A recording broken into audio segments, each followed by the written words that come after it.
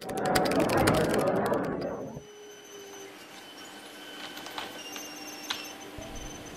is going on guys? Welcome to another Python charting live tutorial.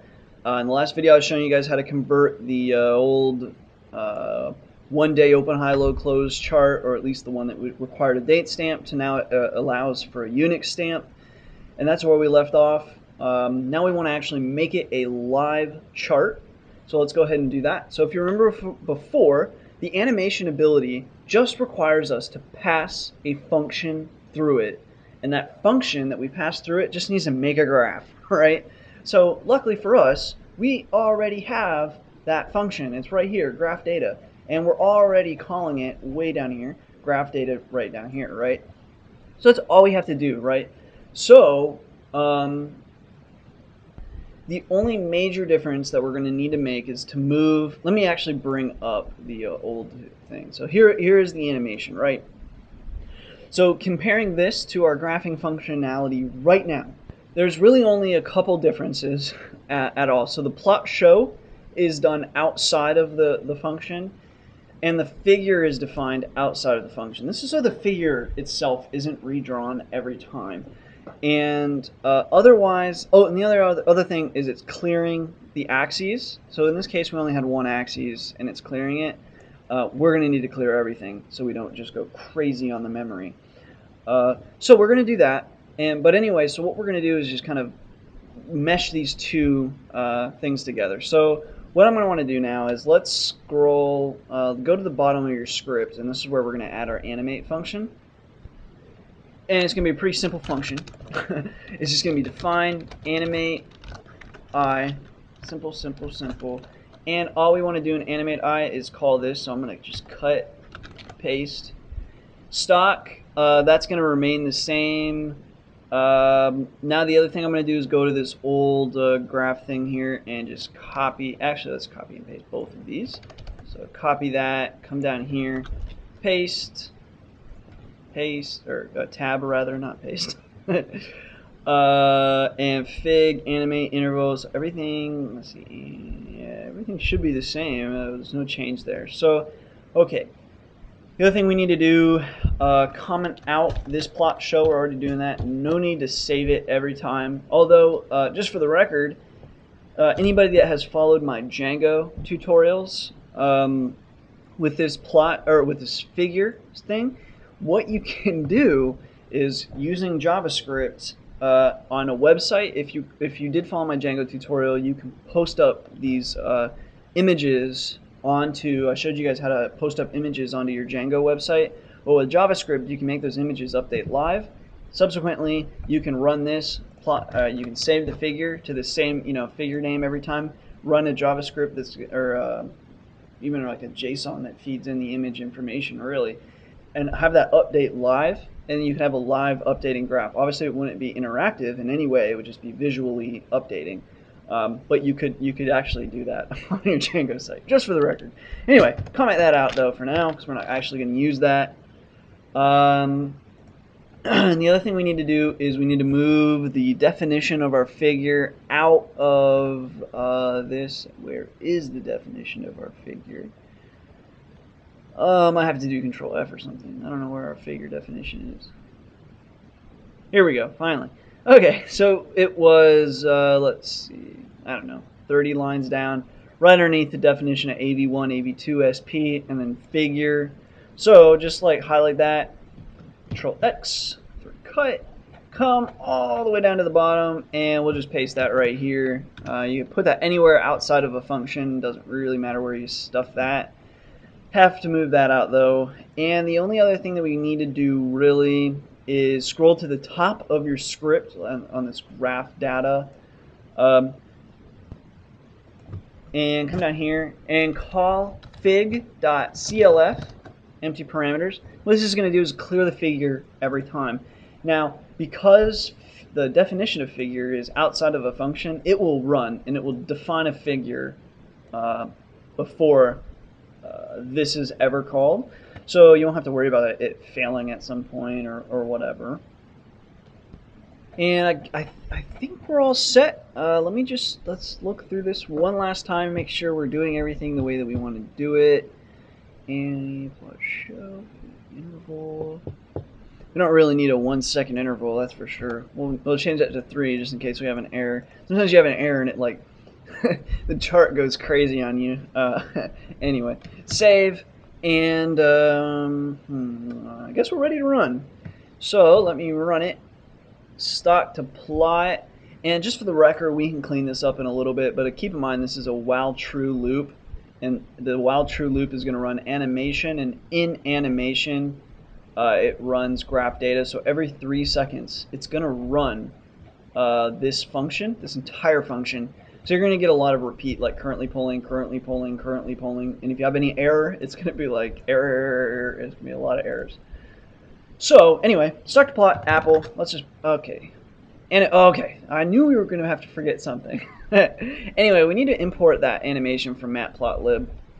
So we'll just come down here and we're going to do uh, import matplotlib.animation as animation. Save that, run it again, and endure the error because you uh, uh, gave a figure and you never showed it. And it makes Python very angry when you do that.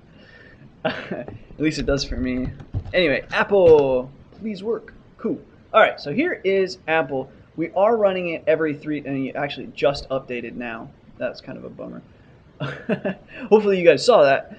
Uh, but anyway, what I'm going to do now is I'm just going to walk away from the computer and do a few things, and we should get at least a few updates uh, showing. So let me just do this, make it nice and pretty over here. Cool. All right, so I'm just going to let it update for a little bit, and uh, I'll speed it up in the video as it goes.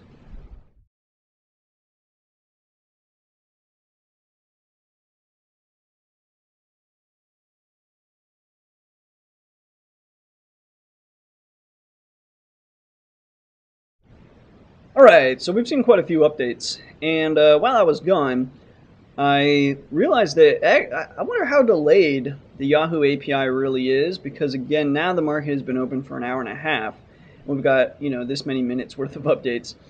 Uh, but we're dealing with a 50 simple moving average, which means 50 plots won't even show. And so, again, we're an hour and a half into the market open. We've got, uh, I'll count them and pause while I count them at the moment 39. So at one more 40, that would mean we'd had a 130, um, or rather, sorry, an hour and a half worth of update though, worth of updates, right? So you'd have 60 plus 30, right? So 90 updates. So you'd have an hour and a half. So to be honest, I don't even, I'm, I'm not positive. I, I'm pretty sure the data is delayed. Uh, but we have an hour and a half worth of data. So I don't know. So maybe it's real time. But anyway, um, as you can probably see in the video, the chart is updating real time. Um, so yeah, I'm going to close out of the chart now. And that pretty much covers the live updating uh, chart. Uh, the, there's a couple more things I still want to do to this chart, however. I want to um, get rid of empty time uh, so, uh, like like we were just looking at with the three day, how it had that massive gap because of the weekend, and then you've also got overnight gaps. Uh, so we want to get rid of those gaps, or at least I'll show you guys how to get rid of them if you want to. The one day open, high, low, close. Uh, I actually kind of, if you're looking at data with one day open, high, low, close in mind, I don't really think that you want to get rid of the gaps. I, I don't think they make a big enough difference, and sometimes it's pretty beneficial to see the gaps, but uh, in the scenario of what we're doing here, it's a huge deal. Like if you want to look at three day open, high, low, close, it's just it's really hard to look at the graph uh, and not cry. So um, so I'll be showing that. Also, what I want to start doing is I'll show you guys how to incorporate um, possibly the RSI, maybe a buy signal from the RSI, and then also or, or sell signal even, or you know a range of signals based on the RSI uh, we'll probably do that first, maybe the, the MACD, but we'll start with the RSI and I'll show you guys how you can dynamically change um, uh, the spines of the chart. And if, if anybody isn't too positive on what the spine of the chart is, let me pull up a Yahoo chart real quick. And Uh, actually, hold on, let's...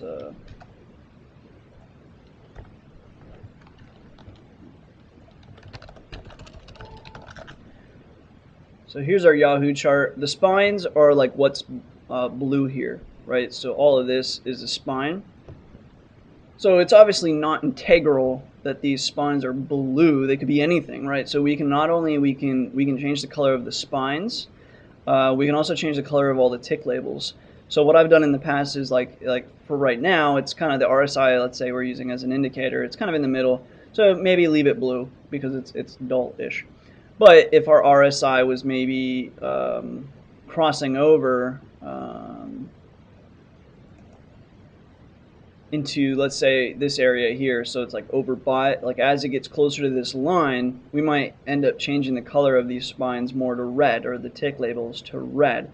And as it lowers, it's getting closer to green. And that way you can eventually not only have Yahoo up here, but you could have a massive figure with like Yahoo here, Apple here, Google here, Microsoft here, and so on, all the way down. You can have like 50, um, 50 stocks on like one one monitor, basically, uh, just like this. And you have the MACD, the RSI, this actual price. They're all updating live, and and I'm starting to think that the Yahoo API is, is live. Uh, something must be wrong here. I, am not sure how it could possibly be live. I'm pretty sure they have to be delayed, but anyway uh, near live prices, anyways, and um,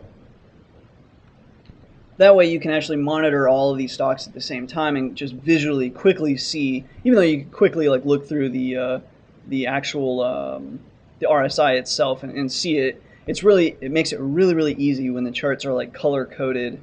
Uh, based on either a buy or a sell signal. And then I can even start showing you guys how you can um, begin to um,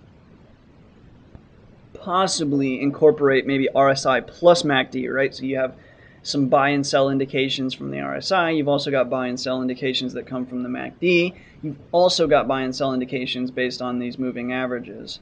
So uh, with all that, you can do a lot of really cool stuff. And again, the whole purpose of the, the these, this series uh, with the charting was so you guys can do it on your own. Because a lot of people, uh, many people actually buy uh, access access conversion of axes and access by access to charting applications like this that do stuff like this for them and it, you just you really don't have to do that. You can you can do pretty much everything yourself and um, I'd like to think that everybody that started this series didn't really need any knowledge in Python or Matplotlib and can get to this point. So it's definitely useful stuff to have so anyways, with that, I'm going to conclude this video. I, I, think probably the next video we'll, we'll, we'll chop out the uh, gaps in the three-day, and then we'll start working on the live updating dynamic uh, spines and stuff. And we'll, we'll start with just like a very simple, just, just with the RSI and so on.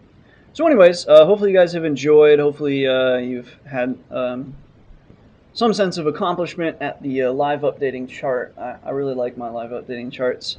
Um, it took me a while to figure it out, and it's actually pretty basic. I, I, don't know why that there's not more information out there on how to make a, a live updating chart, but that's the way it is. Uh, so hopefully you guys have enjoyed. Uh, if you have any problems, anything going wrong, please feel free to leave a comment below. I do get them and I respond to them.